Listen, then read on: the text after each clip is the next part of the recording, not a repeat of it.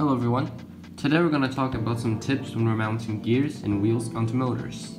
As you may know, the EV3 comes with two different kinds of motor, the large motor and the medium motor. The classic way of mounting a wheel to the motor is by using an axle and a bushing, like such. A single axle may not be strong enough to hold the entire weight of the car, so now we will need the help of some other support structures.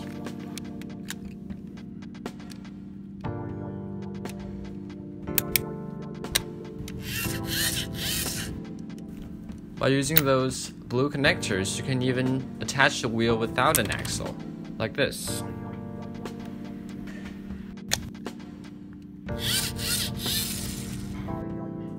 If you need the wheel to be further away from the motor, you can always use the connecting structures in my previous videos. That's not typically what I want to do, because the further the wheels are away from the motor, the less stable it becomes. You can also use those red connectors and the blue pins for the same effect.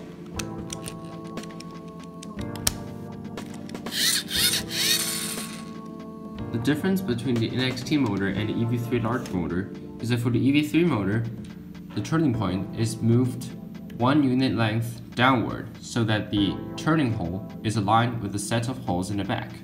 This improvement makes it possible for us to connect a long beam from the back to the turning point of the wheel, and therefore makes it easier for us to connect a gear train on the motor.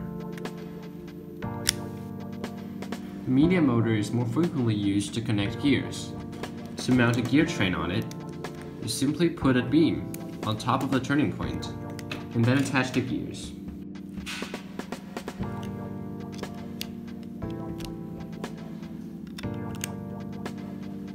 Quick tip for mounting a caster wheel onto the brick is by using the customized piece I made in my previous video.